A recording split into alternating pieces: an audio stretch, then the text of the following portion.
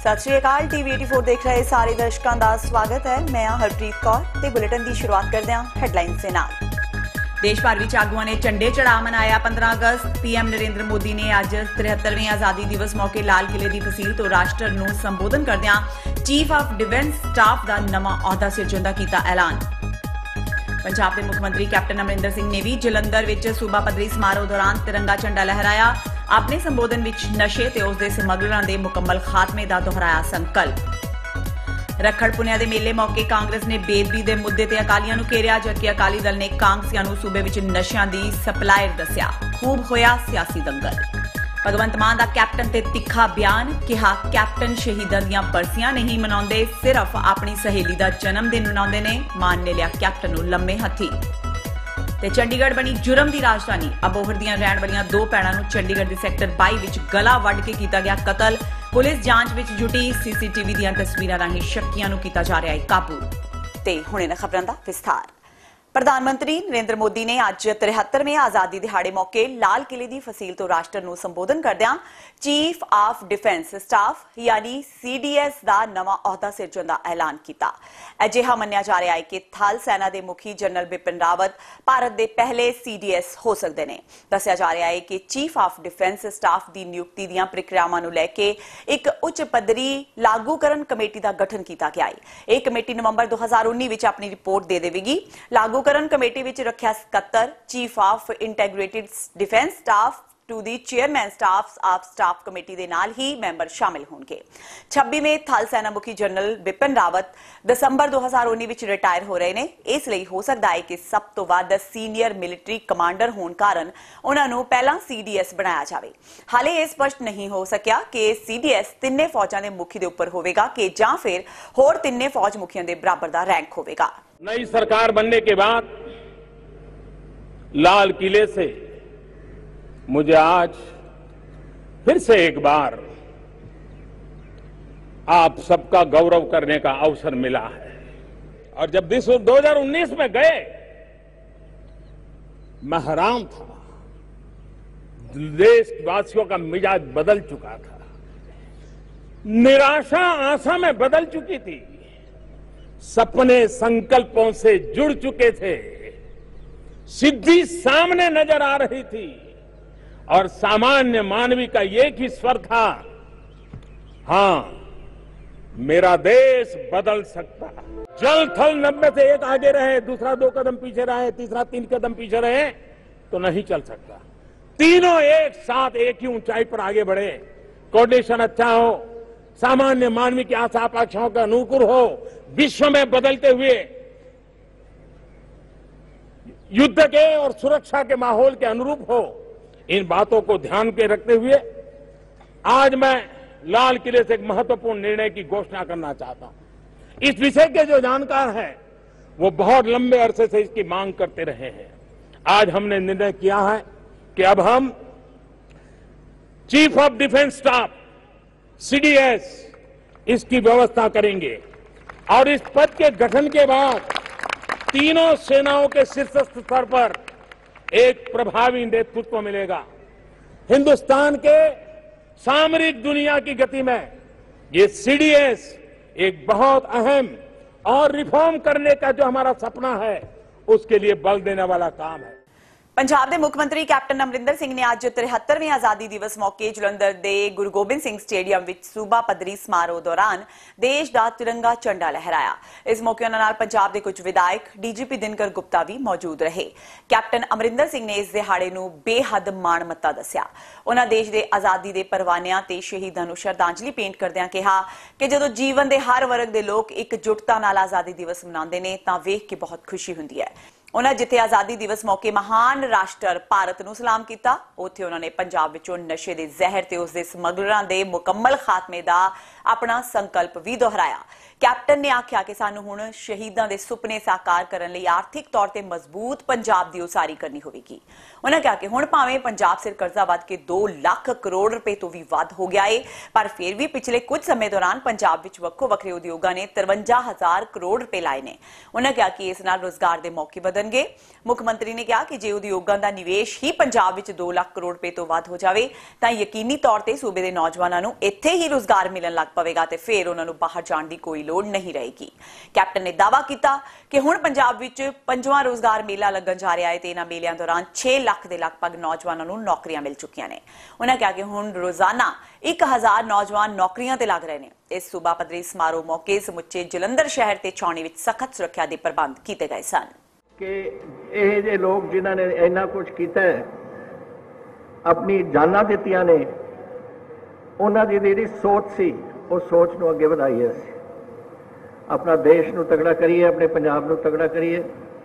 ਪੰਜਾਬ ਨੂੰ ਔਰ ਦੇਸ਼ ਨੂੰ ਇਹੋ ਜਿਹੀ ਥਾਂ ਬਣਾਈਏ ਜਿੱਥੇ ਉਹ ਲੋਕ ਵੀ ਸੋਚਣ, ਜਿੱਥੇ ਵੀ ਨੇ ਕਿ ਜੋ ਅਗਲੀ ਪੀੜ੍ਹੀ ਸੀ, ਜਿਹਦੇ ਵਾਸਤੇ ਅਸੀਂ ਕੀਤਾ, ਉਹ ਸਹੀ ਰਾਹ ਤੇ ਤੁਰ ਰਹੇ ਨੇ।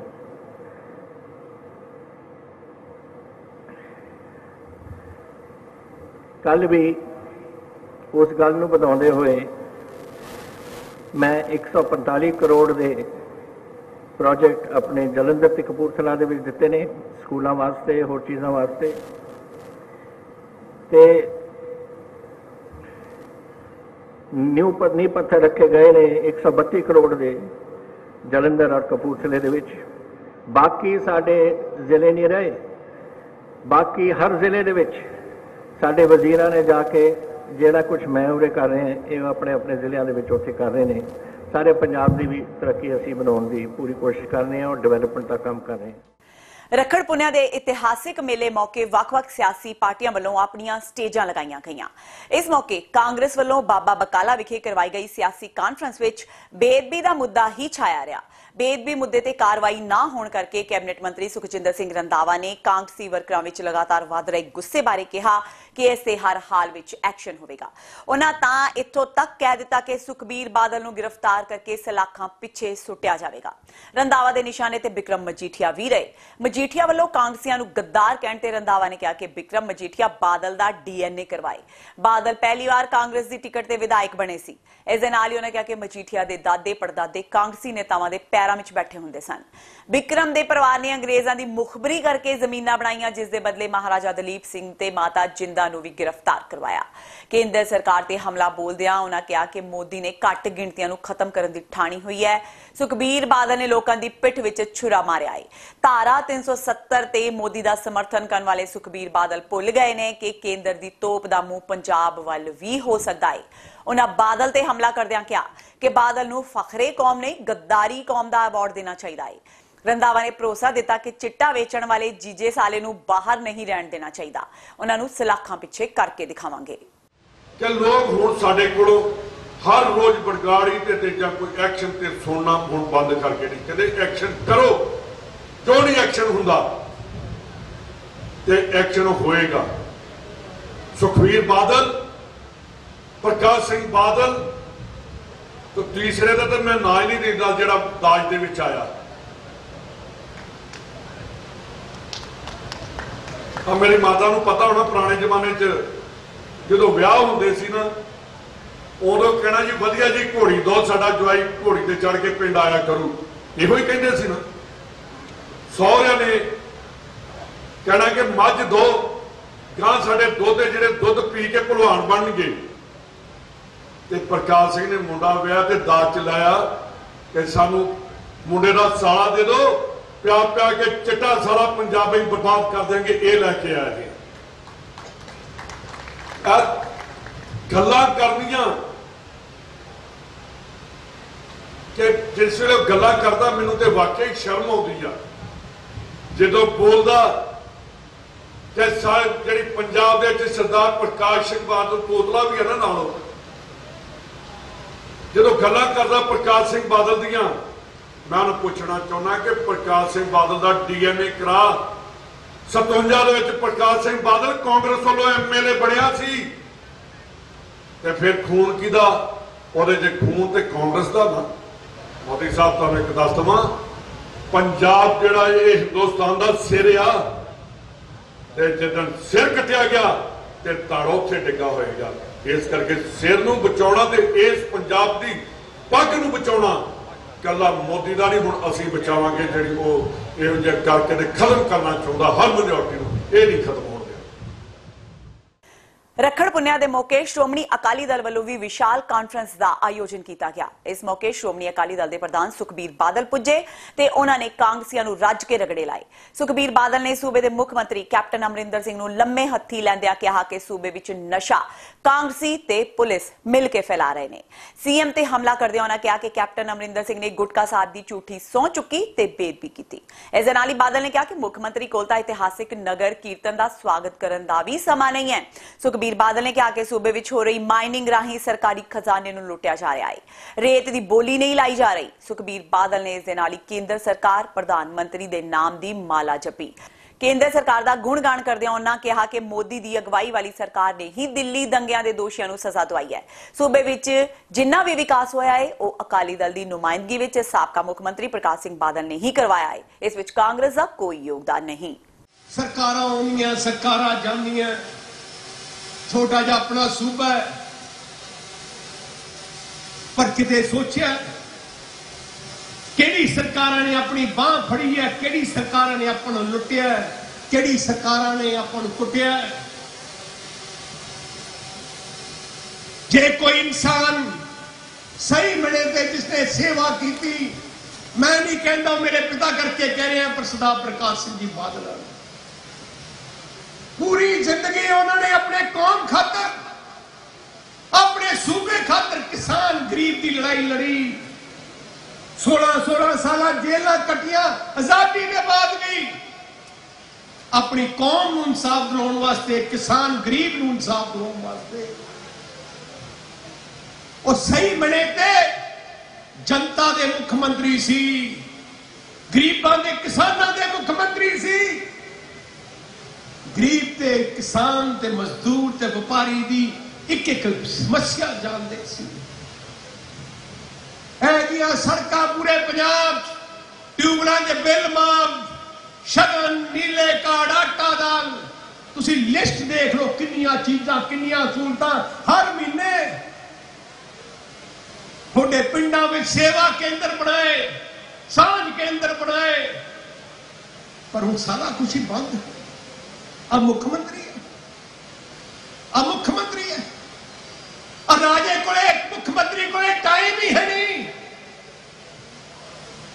ਅੱਜ ਦੇਖੋ ਕੀ ਹਾਲ ਹੈ ਨਸ਼ਿਆਂ ਦਾ।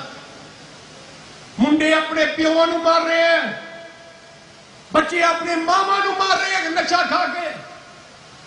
ਨਸ਼ਾ ਇੰਨਾ ਵਿਕ ਗਿਆ, ਇੰਨਾ ਫੈਲ ਗਿਆ। ਕਿਉਂ ਫੈਲ ਰਿਹਾ ਕਿਉਂਕਿ ਕਾਂਗਰਸੀ ਲੀਡਰ ਨਸ਼ੇ ਵੇਚਣਾ ਨਾਲ ਰਲ ਕੇ ਪੁਲਿਸ ਨਾਲ ਥੱਲੇ ਰਲ ਕੇ ਉਹਨਾਂ ਨੂੰ ਪੂਰੀ ਪ੍ਰੋਟੈਕਸ਼ਨ ਦੇ ਕੇ ਸ਼ਰੀਆਂ ਬਕਾਰਿਆ ਕਰੋੜਾਂ ਰੁਪਏ ਦੇ ਸੌਦੇ ਕਰਨੇ। ਤੇ ਹੁਣ ਵੇਲਾ ਹੋ ਗਿਆ ਬ੍ਰੇਕ ਦਾ, ਬਾਕੀ ਦੀਆਂ ਖਬਰਾਂ ਇਸ ਬ੍ਰੇਕ ਤੋਂ ਬਾਅਦ।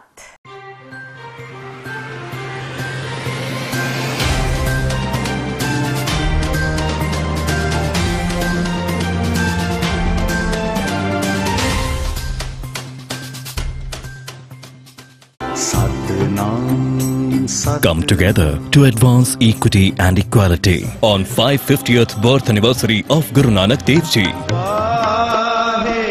Saturday, August 31st, 2019 at National Mall, Washington DC. The following activities will take place as a part of celebrations. Shabad Kirtan, Langar, scholars and Gurmat speeches.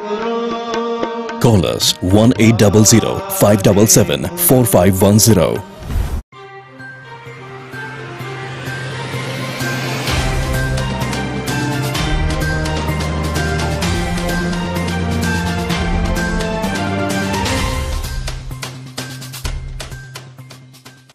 TV 84 ਦੇ ਖਬਰਾਂ ਦੇ ਬੁਲੇਟਿਨ ਵਿੱਚ ਸਵਾਗਤ ਹੈ। ਵਾਦਿਆਂ ਅਗਲੀ ਖਬਰ ਵੱਲ। ਮੁੱਖ ਮੰਤਰੀ ਕੈਪਟਨ ਅਮਰਿੰਦਰ ਸਿੰਘ ਸ਼ਹੀਦਾਂ ਦੀਆਂ ਬਰਸੀਆਂ ਤੇ ਤਾਂ ਨਹੀਂ ਜਾਂਦੇ, ਪਰ ਆਪਣੀ ਪਾਕਿਸਤਾਨੀ ਦੋਸਤ ਅਰੂਤਸਾ ਆਲਮ ਦਾ ਜਨਮ ਦਿਨ ਮਨਾਉਣ ਪਹਾੜਾਂ ਤੇ ਜ਼ਰੂਰ ਚਲੇ ਜਾਂਦੇ ਨੇ। ਇਹ ਸ਼ਬਦੀ ਹਮਲਾ ਆਮ ਆਦਮੀ ਪਾਰਟੀ ਦੇ ਪ੍ਰਧਾਨ ਭਗਵੰਤ ਮਾਨ ਨੇ ਕੀਤਾ ਹੈ ਉਹ ਅੱਜ ਆਜ਼ਾਦੀ ਦੀ ਲੜਾਈ ਦੇ ਮਹਾਨ ਸ਼ਹੀਦ ਕਰਨੈਲ ਸਿੰਘ ਈਸੜੂ ਦੀ ਬਰਸੀ ਮੌਕੇ ਉਹਨਾਂ ਨੂੰ ਸ਼ਰਧਾ ਦੇ ਫੁੱਲ ਭੇਟ ਕਰਨ ਲਈ ਪਹੁੰਚੇ ਸਨ। ਭਗਵੰਤ ਮਾਨ ਨੇ ਕਿਹਾ ਕਿ ਕੈਪਟਨ ਸ਼ਹੀਦਾਂ ਦੀਆਂ ਬਰਸੀਆਂ ਤੇ ਤਾਂ ਨਹੀਂ ਜਾਂਦੇ, ਪਰ ਮੈਡਮ ਅਰੂਸਾ ਆਲਮ ਦਾ ਜਨਮ ਦਿਨ ਮਨਾਉਣ ਲਈ ਪਹਾੜਾਂ ਤੇ ਜ਼ਰੂਰ ਚਲੇ ਜਾਂਦੇ ਨੇ। ਉਹਨਾਂ ਕਿਹਾ ਕਿ ਪਿਛਲੇ 3 ਸਾਲ ਸਰਕਾਰ ਬਣੀ ਨੂੰ ਹੋ ਗਏ, ਪਰ ਕੈਪਟਨ ਕਦੇ ਵੀ ਈਸੜੂ ਨਹੀਂ ਪੁੱਜੇ ਤੇ ਨਾ ਸ਼ਹੀਦ ਉਦਮ ਸਿੰਘ ਦੀ ਬਰਸੀ ਤੇ ਸੁਨਾਮ ਗਏ। ਗੁਰੂ ਰਵਿਦਾਸ ਜੀ ਦਾ ਮੰਦਰ ਢਾਏ ਜਾਣ ਬਾਰੇ ਭਗਵੰਤ ਮਾਨ ਨੇ ਕਿਹਾ ਕਿ ਡੀਡੀਏ ਕੇਂਦਰ ਸਰਕਾਰ ਦੇ ਅਧੀਨ ਹੈ, ਇਹ ਕੰਮ ਕੇਂਦਰ ਸਰਕਾਰ ਦਾ ਹੈ। ਦਿੱਲੀ ਦੀ ਆਮ ਆਦਮੀ ਪਾਰਟੀ ਸਰਕਾਰ ਸਾਰੇ ਧਰਮਾਂ ਦਾ ਸਤਿਕਾਰ ਕਰਦੀ ਹੈ। ਉਹ ਮੰਦਰ ਢਾਹੇ ਜਾਣ ਦਾ ਵਿਰੋਧ ਕਰਦੇ ਨੇ। ਮਾਨ ਨੇ ਕਿਹਾ ਕਿ ਇਸ ਦਾ ਕੋਈ ਹੋਰ ਹੱਲ ਵੀ ਕੱਢਿਆ ਜਾ ਸਕਦਾ ਸੀ। ਪੰਜਾਬ ਵਿੱਚ ਬਿਜਲੀ ਦੇ ਬਿੱਲਾਂ ਬਾਰੇ ਭਗਵੰਤ ਮਾਨ ਨੇ ਕਿਹਾ ਕਿ ਅਕਾਲੀ ਸਰਕਾਰ ਨੇ ਪੰਜਾਬ ਦੀ ਜਨਤਾ ਤੋਂ ਪੈਸਾ ਲੁੱਟ ਕੇ ਨਿੱਜੀ ਹੱਥਾਂ ਵਿੱਚ ਦਿੱਤਾ ਸੀ।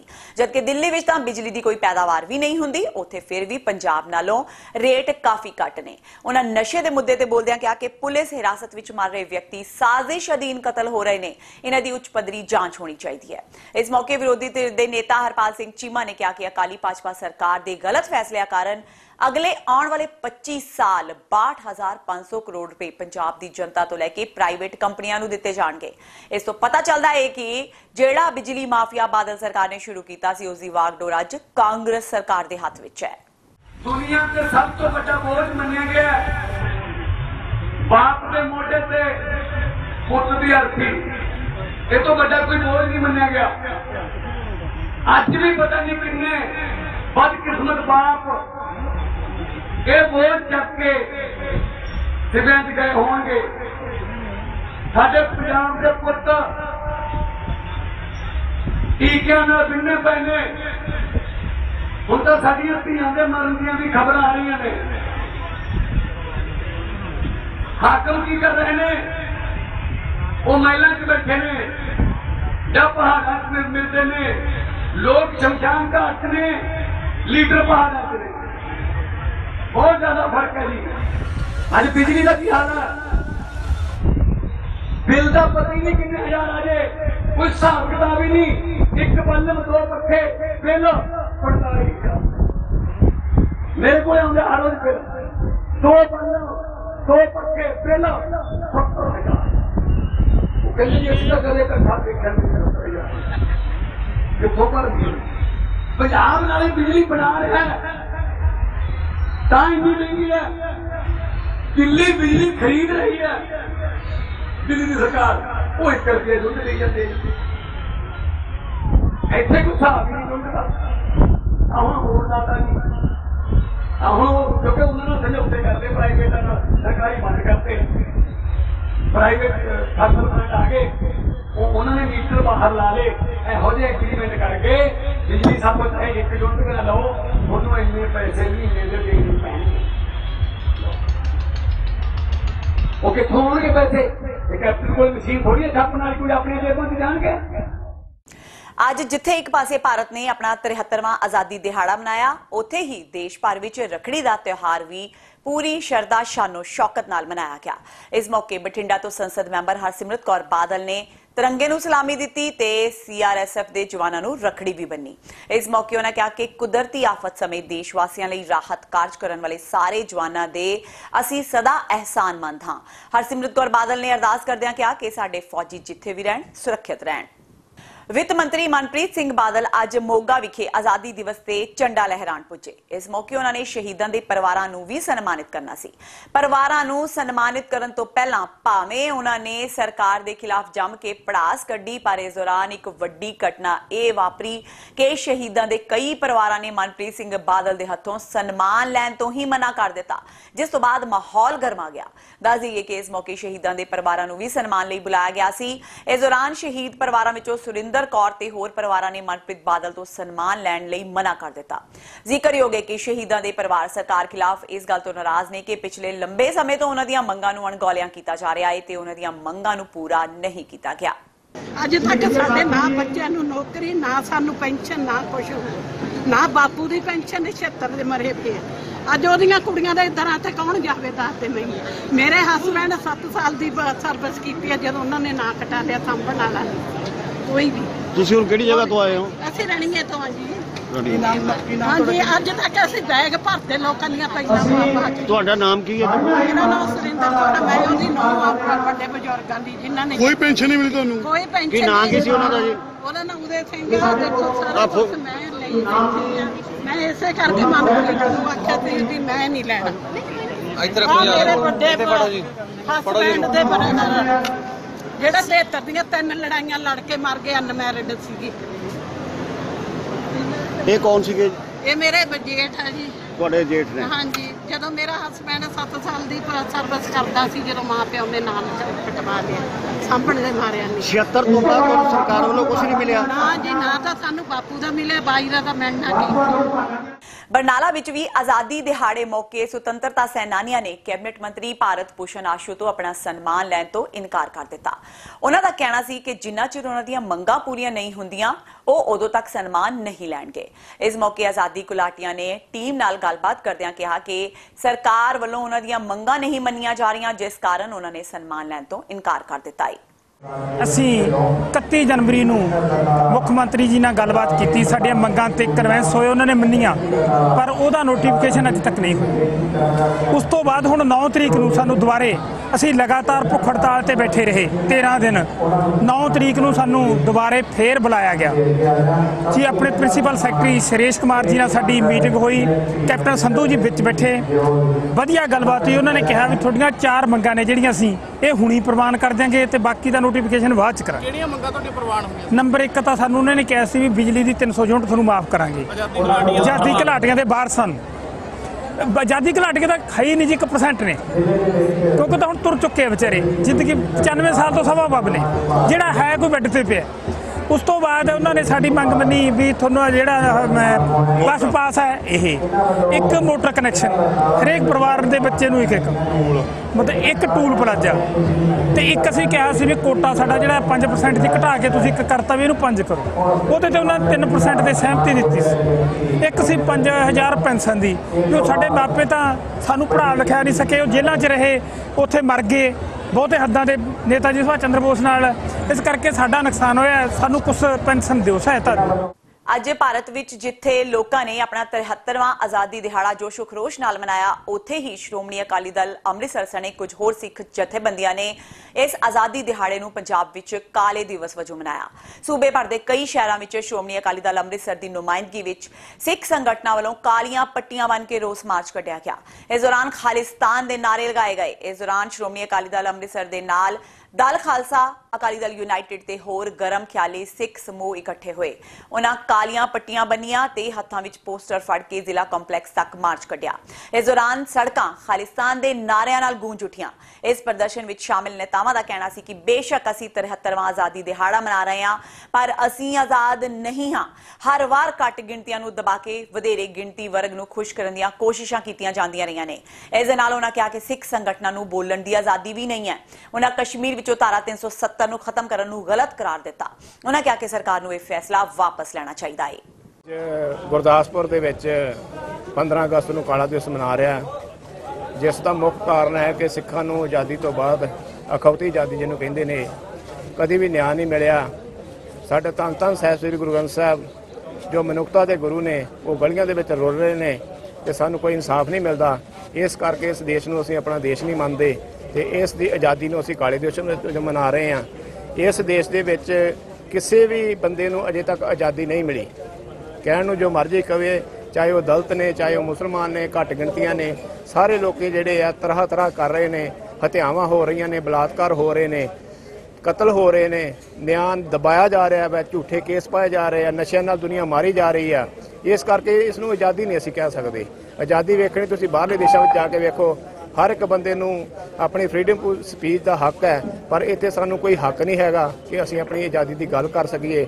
ਜਿਹੜਾ ਵੀ ਆਜ਼ਾਦੀ ਦੀ ਗੱਲ ਕਰਦਾ, ਉਹਨੂੰ ਜੇਲ੍ਹਾਂ ਵਿੱਚ ਤਾੜਿਆ ਜਾਂਦਾ ਇਸ ਕਰਕੇ ਅਸੀਂ ਆਜ਼ਾਦੀ ਤੱਕ ਇਹ ਲੜਦੇ ਰਵਾਂਗੇ ਹੁਸ਼ਿਆਰਪੁਰ ਵਿੱਚ ਵੀ ਰਵਿਦਾਸ ਭਾਈਚਾਰੇ ਵੱਲੋਂ ਜ਼ਬਰਦਸਤ ਪ੍ਰਦਰਸ਼ਨ ਕੀਤਾ ਗਿਆ। ਇਸ ਮੌਕੇ ਪ੍ਰਦਰਸ਼ਨਕਾਰੀਆਂ ਨੇ ਕਿਹਾ ਕਿ ਦਿੱਲੀ ਵਿਖੇ 3 ਏਕੜ ਦੀ ਜ਼ਮੀਨ ਤੇ ਗੁਰੂ ਰਵਿਦਾਸ ਮਹਾਰਾਜ ਜੀ ਦਾ ਮੰਦਿਰ ਬਣਾਇਆ ਹੋਇਆ ਸੀ। ਉਕਤ ਸਥਾਨ ਤੇ 9 ਤਰੀਕ ਨੂੰ ਸੁਪਰੀਮ ਕੋਰਟ ਨੇ ਮੰਦਿਰ ਨੂੰ ਢਾਉਣ ਦਾ ਹੁਕਮ ਦੇ ਦਿੱਤਾ।